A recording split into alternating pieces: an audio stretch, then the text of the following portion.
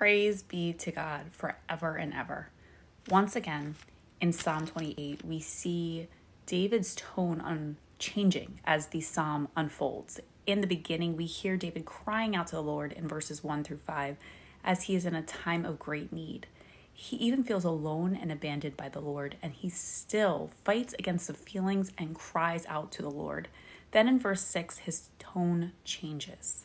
He turns his cries to praise and worship, to glorifying the Lord. In verse 6 and 7, it states, Praise be to the Lord, for he has heard my cry for mercy.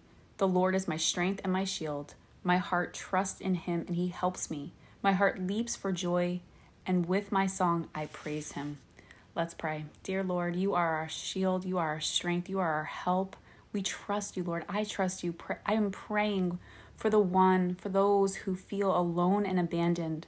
May they be filled with your love, be filled with your overwhelming hope, your everlasting hope that is anchored, anchored in Jesus. May they may change them in a way that transforms them forever. I pray that they would have an encounter with Jesus that changes everything because Jesus changes everything. Help us, Lord, live a life of worshiping you and only you, even through the hard, even through the waiting, even through the blessings. Praise be to you forever and ever, and only you. In Jesus' name, amen.